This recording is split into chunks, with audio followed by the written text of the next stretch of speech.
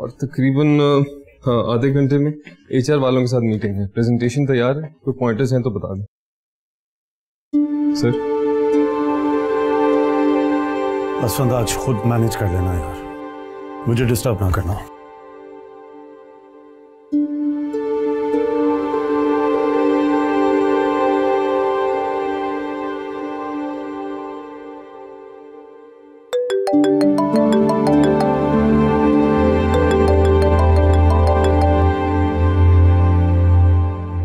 बाबे भाई से बात हुई? नहीं गुस्से में लग रही हैं यार।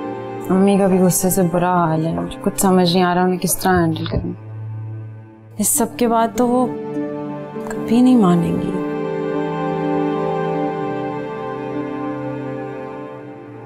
परीसा से बात करके देखो।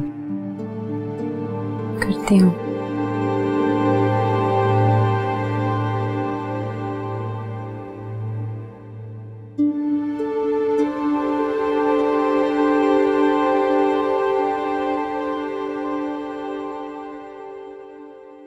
पानी पिए।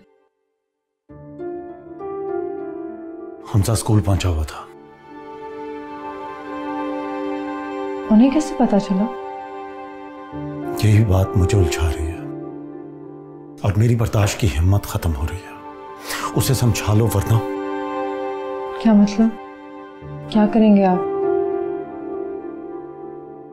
पुलिस में कंप्लेंट करवाऊँगा। मेरी बीवी और बच्चे को हरास करने के जुर्म में और बेजा मुदाखलत करने पर। आप ऐसा कुछ नहीं करेंगे भाई। मेरा सबर अगर जवाब दे गया तो मैं ऐसा ही करूँगा।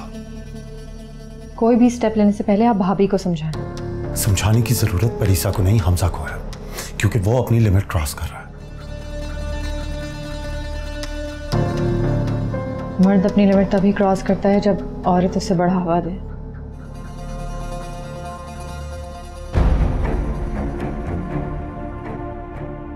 ना तो परीसा बढ़ावा देने वालों में से है, और ना ही अपनी हदें भूलने वालों में से। भरोसा करना अच्छी बात है भाई। लेकिन अंधा एतमाद दुख के सिवा और कुछ नहीं देता।